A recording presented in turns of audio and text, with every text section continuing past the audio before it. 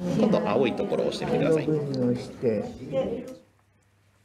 甲府市民を対象にしたプレミアム付き商品券の利用は今回が第2弾です。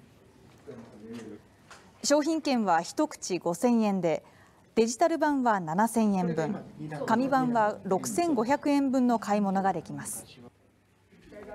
甲府市役所に設置されたサポート会場にはデジタル商品券を申し込んだ市民が次々と訪れスマートフォンを片手にログイン方法や購入の仕方などを聞いていました。